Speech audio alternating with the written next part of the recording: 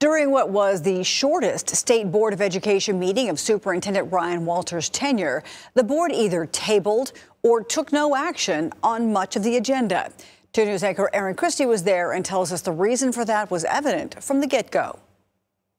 It appears clear the State Board of Education made few decisions during today's board meeting, all because of their ongoing disagreements with Attorney General Gentner Drummond, most recently regarding the Open Meetings Act. The board was scheduled to discuss approving the 2025 Capital Improvements Project, the fate of several teaching certificates, and more. But instead, Brad introduced himself. In a last minute force of hand from Attorney General Gentner Drummond, they met Brad Clark, the board's new counsel for now, as of Thursday, after Drummond denied the request to retain previous counsel they wanted, Karen Nicholas. At some point, that contract was um, requested to be renewed, and a decision was made to deny that request. And so that letter was sent yesterday. Questions began firing at Clark over possible conflict of interest. We've had instances this year where the Attorney General's office was taking a position um, that at least made some of us concerned. So, with Walters laying the groundwork, If the board doesn't feel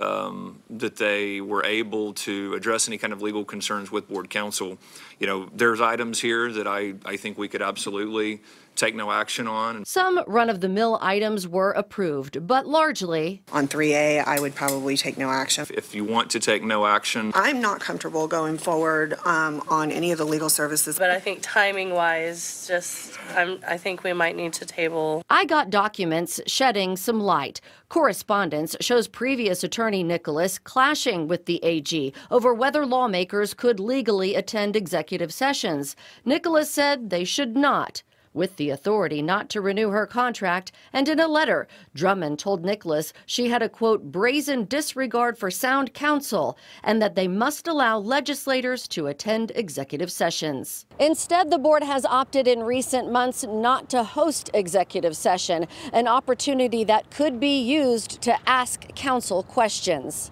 In Oklahoma City, Aaron Christie, 2 News Oklahoma.